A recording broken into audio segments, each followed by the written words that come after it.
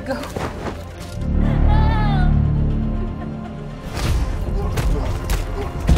He looks like Captain Power. You didn't see the news? He's powerless.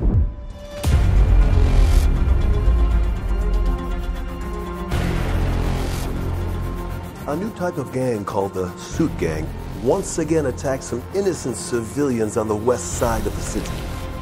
I thought you preferred working solo. I guess you read the papers. So, should we expect a rise in the city's crime rate after the dismissal of Captain Power? Um, what should I call you? Uh, Captain? Uh, would you prefer your real name? Our company hired you, Mr. Wyatt, to present a reassuring, protective, and a positive image of our company to the world. You think you uh, get in trouble with Global Electric over this?